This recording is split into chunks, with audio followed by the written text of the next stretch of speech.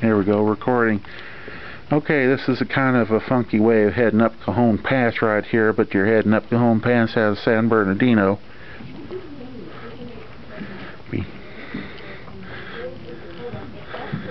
to farm yard and stuff.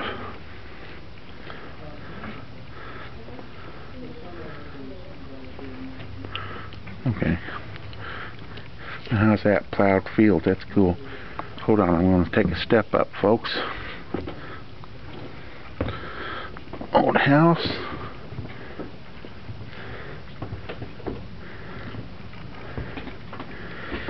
Control Point West Cajon. Classic Santa Fe bridges. We're at West Cajon. Now the regular Cajon.